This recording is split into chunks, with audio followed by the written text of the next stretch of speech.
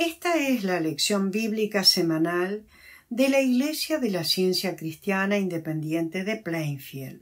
Esta lección es para su estudio durante la semana que finaliza el día domingo 2 de mayo de 2021.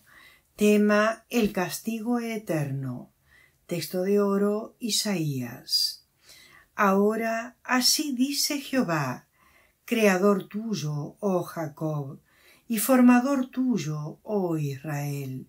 No temas, porque yo te redimí, te puse nombre, mío eres tú.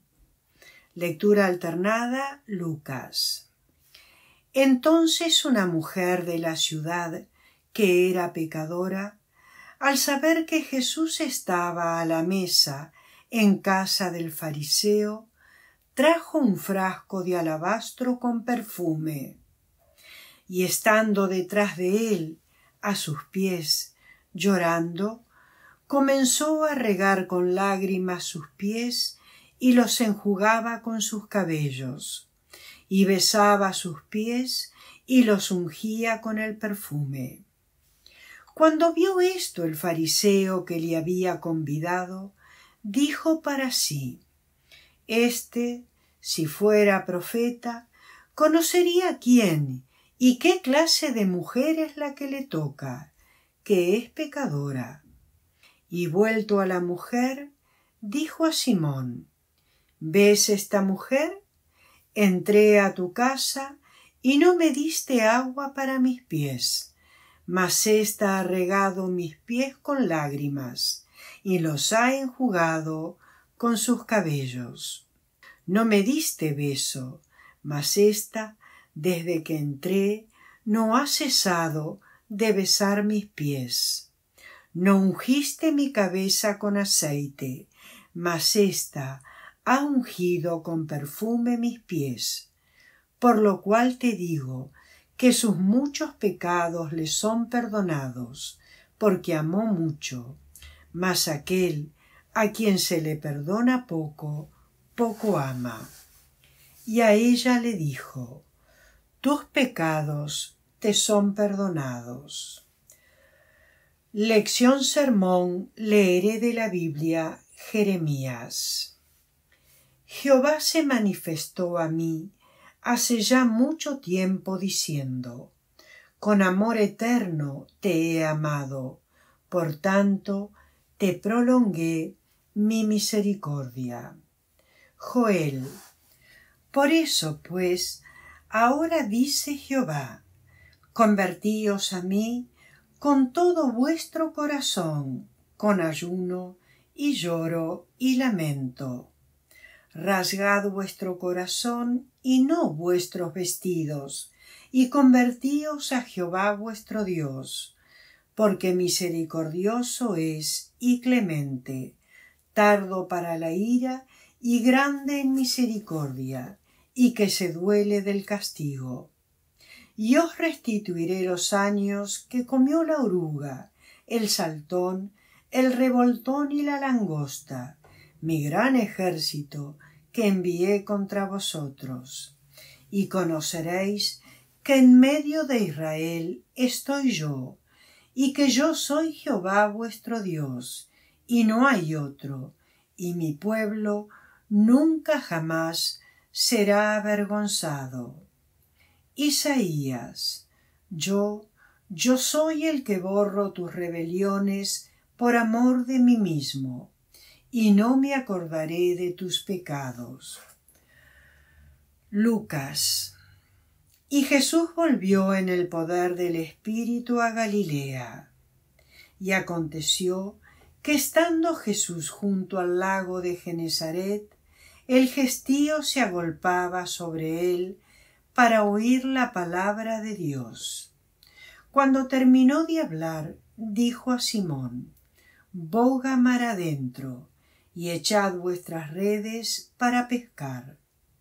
Respondiendo Simón le dijo, Maestro, toda la noche hemos estado trabajando y nada hemos pescado, mas en tu palabra echaré la red. Y habiéndolo hecho, encerraron gran cantidad de peces y su red se rompía. Y llenaron ambas barcas de tal manera que se hundían. Viendo esto, Simón Pedro cayó de rodillas ante Jesús, diciendo Apártate de mí, Señor, porque soy hombre pecador. Pero Jesús dijo a Simón No temas, desde ahora serás pescador de hombres. Después de estas cosas salió y vio a un publicano llamado Leví sentado al banco de los tributos públicos y le dijo Sígueme. Y Leví le hizo gran banquete en su casa y había mucha compañía de publicanos y de otros que estaban a la mesa con ellos. Y los escribas y los fariseos murmuraban contra los discípulos diciendo ¿Por qué coméis y bebéis con publicanos y pecadores? Respondiendo Jesús les dijo Los que están sanos no tienen necesidad de médico sino los enfermos. No he venido a llamar a justos, sino a pecadores al arrepentimiento. Se acercaban a Jesús todos los publicanos y pecadores para oírle. Gozo en el cielo por un pecador que se arrepiente, que por noventa y nueve justos que no necesitan de arrepentimiento. También dijo, un hombre tenía dos hijos, y el menor de ellos dijo a su padre, Padre, dame la parte de los bienes que me corresponde, y les repartió los bienes. No muchos días después, juntándolo todo el hijo menor, se fue lejos a una provincia apartada y allí desperdició sus bienes viviendo perdidamente. Y cuando todo lo hubo malgastado, vino una gran hambre en aquella provincia y comenzó a faltarle. Y fue y se arrimó a uno de los ciudadanos de aquella tierra, el cual le envió a su hacienda para que apacentase cerdos. Y deseaba llenar su vientre de las algarrobas que comían los cerdos, pero nadie le daba. Y volviendo en sí, dijo ¿Cuántos jornaleros en casa de mi padre tienen abundancia de pan, y yo aquí perezco de hambre? Me levantaré, iré a mi padre y le diré Padre, he pecado contra el cielo y contra ti ya no soy digno de ser llamado tu hijo. Hazme como a uno de tus jornaleros. Y levantándose vino a su padre. Y cuando aún estaba lejos, lo vio su padre y fue movido a misericordia, y corrió y se echó sobre su cuello y le besó. Y el hijo le dijo, Padre, he pecado contra el cielo y contra ti, y ya no soy digno de ser llamado tu hijo. Pero el padre dijo a sus siervos, Sacad el mejor vestido y vestidle, y poned un anillo en su mano y calzado en sus pies. Y su hijo mayor estaba en el campo. Entonces se enojó y no quería entrar. Salió por tanto su padre y le rogaba que entrase. Mas él, respondiendo, dijo al padre He aquí, tantos años te sirvo, no habiéndote desobedecido jamás, y nunca me has dado ni un cabrito para gozarme con mis amigos. Pero cuando vino este tu hijo, que ha consumido tus bienes con rameras, has hecho matar para él el becerro gordo. Entonces él le dijo, Hijo, tú siempre estás conmigo, y todas mis cosas son tuyas. Mas era necesario hacer fiesta y regocijarnos, porque este tu hermano era muerto y ha revivido, se había perdido y es hallado. Salmos. Yo anduve errante como oveja extraviada. Encamíname en tu verdad y enséñame, porque tú eres el Dios de mi salvación. Acuérdate, oh Jehová, de tus piedades y de tus misericordias, que son perpetuas, de los pecados de mi juventud y de mis rebeliones, no te acuerdes. Conforme a tu misericordia, acuérdate de mí, por tu bondad, oh Jehová. Bueno y recto es Jehová, por tanto, Él enseñará a los pecadores el camino. Isaías. Deje el impío su camino y el hombre inicuo sus pensamientos, y vuelva hacia Jehová, el cual tendrá de él misericordia, y al Dios nuestro, el cual será amplio en perdonar.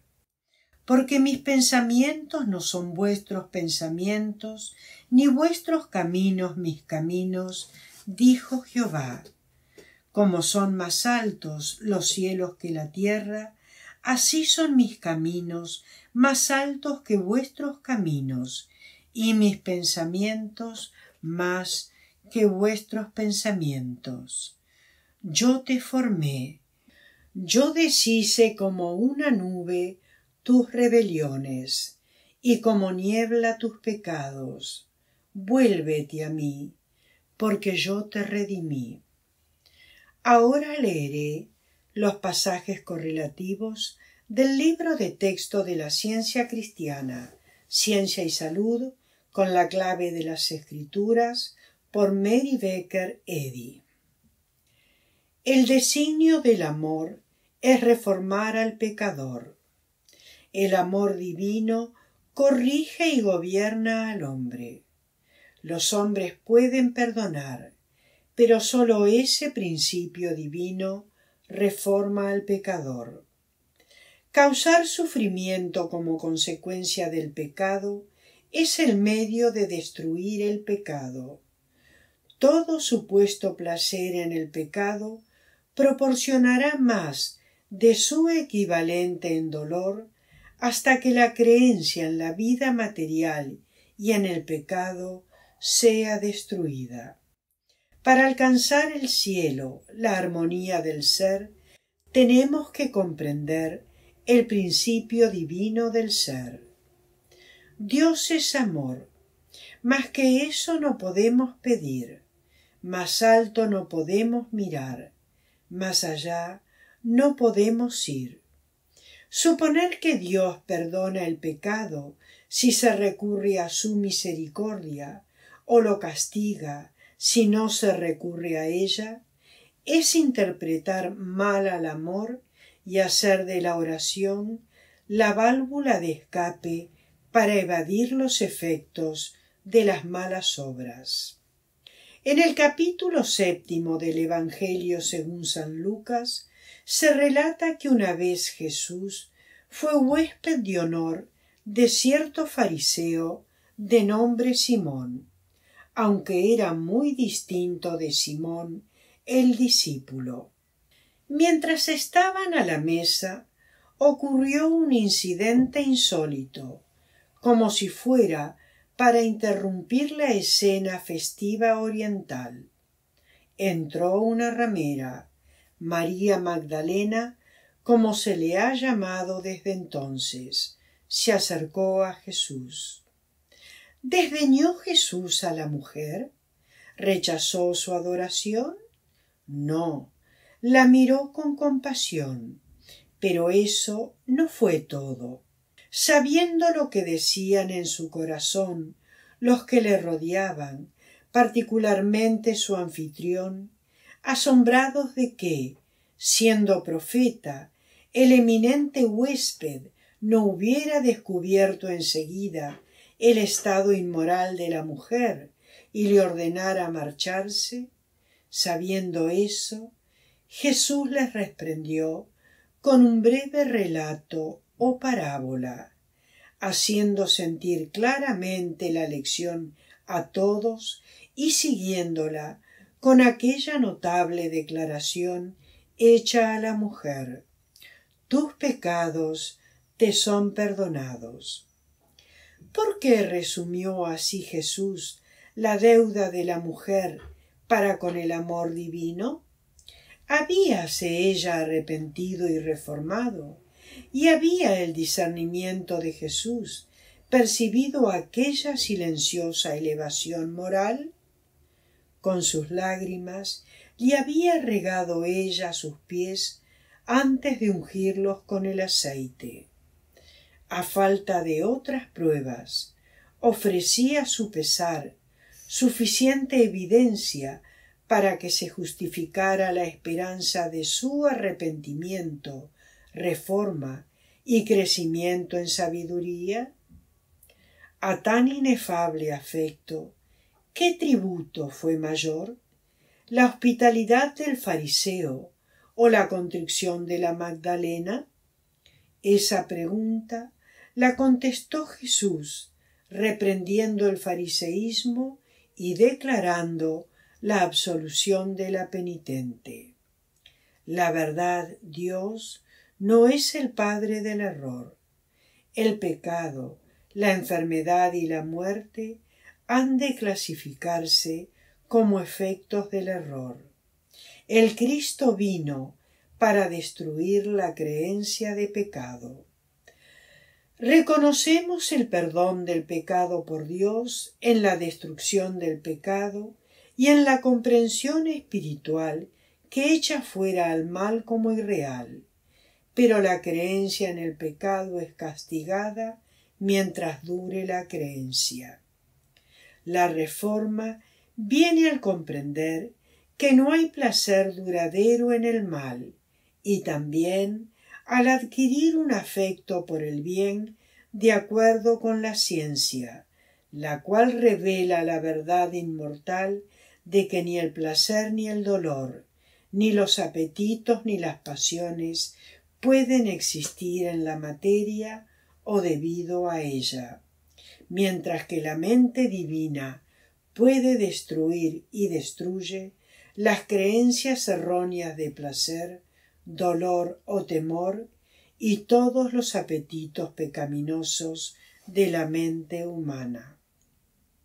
El mal es a veces el concepto más alto que tiene un hombre de lo que es justo, hasta que se apegue más firmemente al bien. Entonces ya no se complace en la maldad, y ésta viene a ser su tormento. El camino para escapar de las miserias del pecado es cesar de pecar. No hay otro camino. Esta convicción de que no hay placer real en el pecado es uno de los puntos más importantes en la teología de la ciencia cristiana. Despertad al pecador de ese nuevo y verdadero punto de vista acerca del pecado mostradle que el pecado no da ningún placer y ese conocimiento fortalece su valor moral y aumenta su habilidad para vencer el mal y amar el bien. El error básico es la mente mortal. Una cuestión moral puede que impida el restablecimiento de los enfermos. El error en acecho la concupiscencia, la envidia, la venganza, la maldad o el odio perpetuarán y hasta crearán la creencia en la enfermedad. Errores de toda clase tienden en esa dirección. El curso que verdaderamente debiera seguirse es destruir al enemigo y dejar el campo a Dios vida, verdad y amor, recordando que sólo Dios y sus ideas son reales y armoniosos. La sabiduría del hombre no encuentra satisfacción en el pecado, puesto que Dios ha sentenciado al pecado a sufrir. La necromancia de ayer prefiguró el mesmerismo e hipnotismo de hoy. El ebrio piensa que disfruta su borrachera y no se le puede hacer que deje su embriaguez hasta que su concepto físico de placer se someta a un concepto superior. Entonces se apartará de sus copas como el soñador que despierta sobresaltado de una pesadilla ocasionada por los dolores del sentido desconcertado. A quien le agrada hacer el mal, que encuentra placer en ello y que se abstiene de ello sólo por temor a las consecuencias, no es hombre sobrio ni digno de confianza en cuanto a religión. Las dolorosas experiencias que resultan de la creencia en la supuesta vida de la materia así como nuestros desengaños e incesantes angustias hacen que vayamos, cual niños cansados, a los brazos del amor divino. Cuando comprendamos plenamente nuestra relación con el divino, no podremos tener ninguna otra mente que la suya, ningún otro amor, sabiduría o verdad, ningún otro concepto de la vida y ninguna conciencia de la existencia del error o de la materia. La destrucción del pecado es el método divino de perdonar. La vida divina destruye a la muerte, la verdad destruye al error y el amor destruye al odio. Cuando el pecado es destruido, no necesita otra forma de perdón. Los tres deberes diarios por Mary Becker Eddy. Oración diaria. Será deber de cada miembro de la Iglesia orar diariamente. Venga tu reino. Haz que el reino de la verdad, la vida y el amor divinos se establezcan en mí, y quita de mí todo pecado y que tu palabra fecunde los afectos de toda la humanidad y la gobierne. Una regla para móviles y actos. Ni la animosidad ni el mero afecto personal deben impulsar los móviles o actos de los miembros de la Iglesia Madre. En la ciencia, sólo el amor divino gobierna al hombre y el científico cristiano refleja la dulce amenidad del amor al reprender el pecado, al expresar verdadera confraternidad, caridad y perdón. Los miembros de esta Iglesia deben velar y orar diariamente para ser liberados de todo mal, de profetizar, juzgar, condenar, aconsejar, influir o ser influidos erróneamente. Alerta al deber. Será deber de todo miembro de esta Iglesia defenderse a diario de toda sugestión mental agresiva y no dejarse inducir a olvido o negligencia en cuanto a su deber para con Dios, para con su guía y para con la humanidad. Por sus obras será juzgado y justificado o condenado. Para los científicos cristianos, ver Ciencia y Salud, página 442, renglón 30, y prestarle atención diaria a ello. Científicos cristianos, sed una ley para con vosotros mismos, que la mala práctica mental no puede dañaros ni dormidos ni despiertos.